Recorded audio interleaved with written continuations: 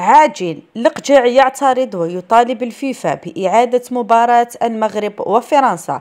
السلام عليكم. مرحبا بكم في قناتنا.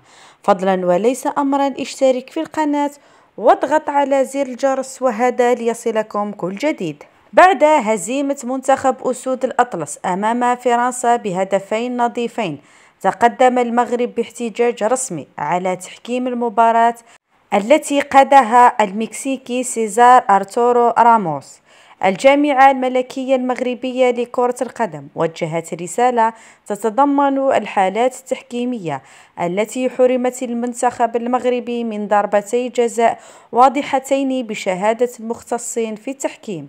الجامعة قالت إنها مستغربة من عدم استخدام تقنية الفار وأشارت إلى أنها لن تتوانى في الدفاع عن حقوق منتخبنا مطالبة بالإنصاف في اتخاذ الإجراءات اللازمة بشأن الظلم التحكيمي الذي مورس على المنتخب المغربي في مباراته ضد المنتخب الفرنسي. بات الحكم المكسيكي في مرمى انتقادات الجماهير المغربية بعد الأخطاء التحكيمية التي صاحبت مواجهة أسود الأطلس مع المنتخب الفرنسي في نصف نهائي مونديال قطر 2022 خصوصا بعد عدم احتساب ركلتي جزاء للمغاربة في هذه المواجهة وبعد تعرضه للهجوم على شبكات التواصل الاجتماعي.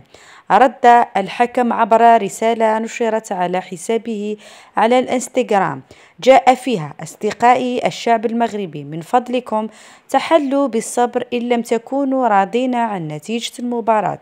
يمكنكم تقديم اعتراض جماعي عبر موقع فيفا ويمكن إعادة المباراة. إذا أعجبكم الفيديو تشجيعا لنا لعرض المزيد. لا تبخلوا علينا بالضغط على زر الإعجاب.